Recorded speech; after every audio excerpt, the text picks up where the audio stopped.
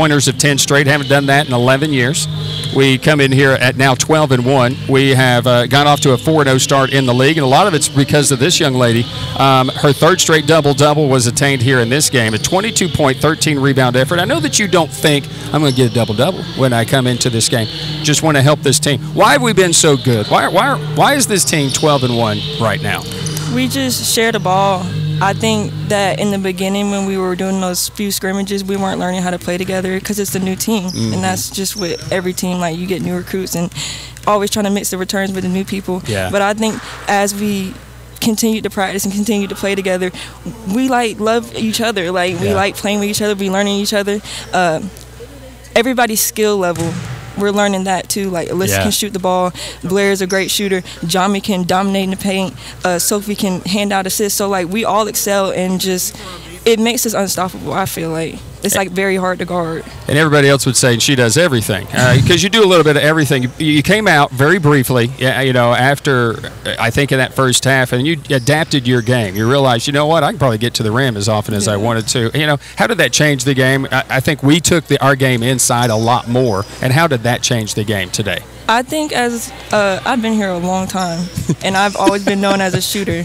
So like as a grad student now, like I just feel like I'm in that leadership role, and I need Yeah. to take make myself better and make do what's best for the team, and that's me driving the ball. Cause like sometimes, I mean, I know Jay used to do that a lot, and I was just the outside Yeah. shooter. So now I have to like fill that role and just do it, cause I can do it, but like I just have to produce it onto the floor. So that's what I just tried to do because I was not going to lose this game today. Hey, you know, kudos to Southern Wesleyan. You know, I- we had to we had to challenge ourselves. They challenged us big time. They came out, hit a lot of shots. You know, I'm not saying we were complacent, you know, on defense, but we weren't ourselves. We didn't commit fouls, and I was like, just commit a foul. Like we didn't commit a foul till the fourth quarter. Yeah. I mean, it was kind of crazy, you know, in, in the game.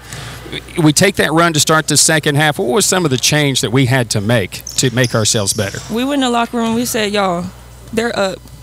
They shouldn't be up. Right. Let's let's lock in on defense. Let's play with some energy. Let's Yeah. play with some effort. Cause like I know it's Christmas break, like we're ready to go, but like we need to just come in. That's what we did. We went on a 6-0 run in the beginning. and was like, let's go. This is what we need to do. Like let's just get stops and keep it going.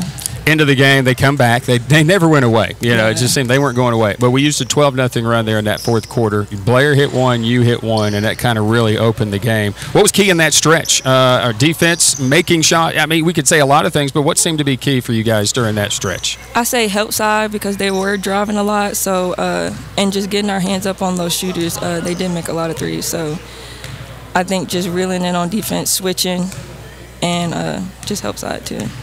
Congratulations, uh, fabulous. Uh, 22 point, 13 rebounds. Seem to be everywhere today.